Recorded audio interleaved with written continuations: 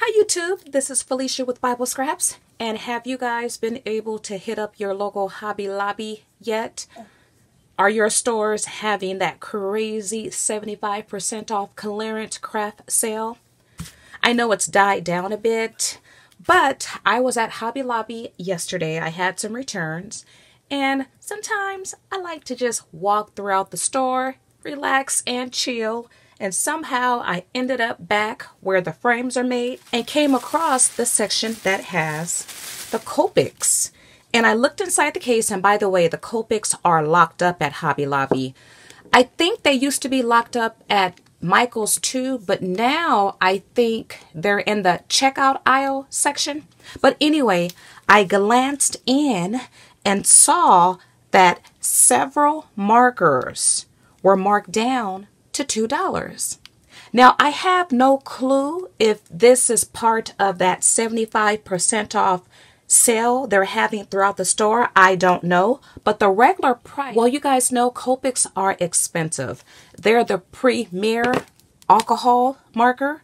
I think they may have been the first to come out with alcohol markers. And they're expensive, especially this particular shape. The price at Hobby Lobby is $8. And they're expensive no matter where you buy them. And I don't remember if the local craft stores still takes coupons on the Copic markers. But anyway, they were marked down to $2. So I only picked up three. Now, I do know every Hobby Lobby is different. So your stores may not have these marked down yet. They could be marked down at different prices. Some stores might have a lot of these marked down. I have no, but it could be that your store will never have these marked down because my local Hobby Lobby has yet to mark down the Tim Holtz Oxide inks. So I lucked out when I found a bunch at an out of town Hobby Lobby. Speaking of Hobby Lobby, we are getting Hobby Lobby number two in my neck of the woods. Yay! So these are the colors I picked up. BG90 and E97 and FYG1. Now, I have a small selection of Copics. I have more Spectrum Noir than anything, and I know Tuesday morning just had a great deal on a 24 pack for 20 bucks. But I did pick up these three because I don't have them. I will test these out For the color, oh, this is a pretty color. It's called Deep Orange. I love that color. Copics colors are available in over 300 colors. Hobby Lobby has maybe 75 to 100 available. Now this one is Gray Sky BG90. And with the Copics, you do get two tips.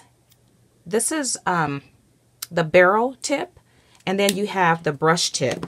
Now, I was really excited about this fluorescent yellow FYG1 because I have the fluorescent colors by Spectrum Noir and I didn't realize I had a yellow already. So I'm going to compare these two together. They look different on the tops, but the caps are deceiving. They don't always match up with the color in the marker. Okay, so hmm, is that really fluorescent? Okay, let's try Spectrum Noir. Let's try, well, this is the tip on the Spectrum Noir. You know, I'll open them both up. You got your barrel, and then you have this tip. This is not, I don't think, a brush tip. The Copic has the barrel and has this tip. Okay, so let's try this. Oh, they're definitely different colors. Well, then again, yeah, it is. It's darker when it's wet. As a matter of fact, uh, okay, Spectrum Noir has more green in it. And the Copic has more of a yellow color. The Spectrum Noir looks more fluorescent to me. But I'm glad I picked up the Copic because the color is different. Now, both markers are refillable. You can buy the refills to fill both of these up. Okay, so I tested these And while I have these two fluorescent markers out, I'll go ahead and test them out. Many of you probably never heard of the fluorescent alcohol marker. This one is FL2. Oh, wow. This one is drying out. I have not used this marker that much. Okay. Yep, it's drying out. Okay, and this is the FL1. I do have refills for one of these. I'm not sure which one. But can you tell that these are fluorescent? The colors are pretty. Well, yeah, you guys, check your local Hobby Lobby if you are interested in this particular style marker.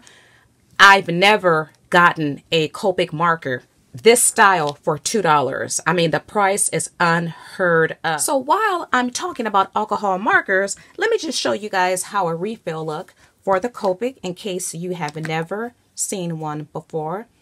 It looks like this. And a refill for the Spectrum Noir marker. Well, it used to look like this. I purchased a lot of these last year or the year before. And, well, over half of my ink bottles were, they were halfway filled because the ink had evaporated. So I sent mine back and I know as of like a year ago, they were working on a new design, a new bottle. But this is how the older bottle looks. And this one has my fluorescent yellow. Oh, darn it. I thought it had one of these two colors. Darn it. I did pick up these colors, but I sent them back because, well, like I stated, half the ink had evaporated. Okay, so if you guys, if your stores have these markers on clearance, leave that information below. Also leave how much your store has the markers for and in how many colors. My store didn't have that many colors, but I picked up three from what was available. Alrighty, I want to thank you all for watching. Have a wonderful day, and as always, blessings.